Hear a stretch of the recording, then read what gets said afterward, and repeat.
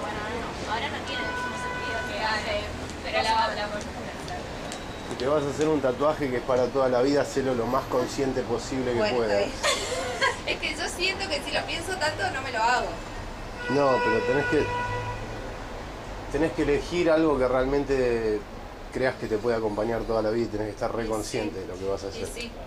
Pero es que por eso no me he hecho nunca ninguno, No es de como, tanto pensarlo. no es como comprarse un aro.